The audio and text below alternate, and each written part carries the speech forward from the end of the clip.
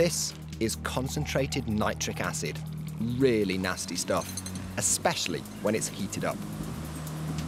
It'll dissolve practically all the metals from the circuit boards, but it won't affect the gold. In industry, they'd extract the silver and copper from this, but I've only got eyes for one thing, gold. But it still leaves us with the problem of separating the gold from all the undissolvable rubbish that's in circuit boards. Which means, unfortunately, we're now going to have to dissolve the gold. It sounds like a gamble, but I'm hoping it'll pay off in the end. Because gold is so unreactive, I'm going to need some really powerful acid to dissolve it. This is way beyond school chemistry. I'm making up what medieval alchemists called aqua regia, or royal water. It's a mix of very concentrated and strong acids, strong enough even to dissolve gold.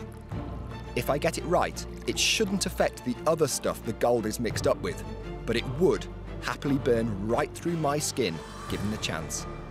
A lot of mining processes involve some pretty nasty chemistry. This is uh, about as noxious as it gets for me. With a bit of added heat, all that gold I've worked so hard to get starts to vanish. If I don't get the next stage of the recipe right, it could be gone forever. You look at that uh, dirty black liquid I've just made, it's difficult to be confident that it's full of gold. It's a bit of a leap of faith. Another few minutes of stirring at gas mark 4 and we're done. Now I've dissolved my gold into a liquid. All I need to do is pour it through a filter to separate the gunk from the good stuff. I'm not sure about this. I seem to have made pure green, not gold. No matter. I shall keep following the recipe, add a pinch of urea.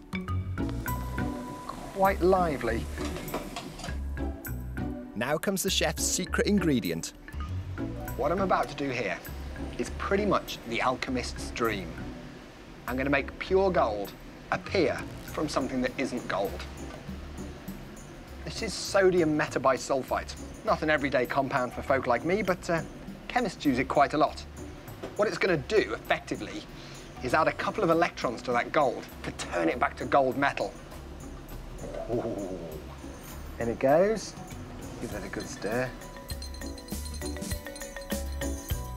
I'm still not seeing any gold. I'm going to need more sodium metabisulfite. Lots more. Time to start getting a bit more freeform with the quantities.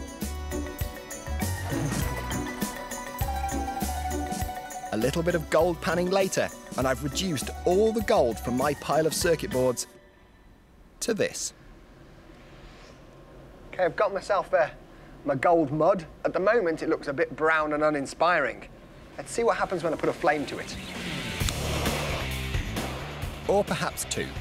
Now, I'm not going to lie to you, I don't hold out much hope for whatever is left in that tiny crucible. But there is one thing that should survive. There it is. From a bunch of obsolete old electronics, add yourself some potentially lethal chemicals, hit it with over a thousand degrees of heat, and you end up with one of those, a nugget of pure gold.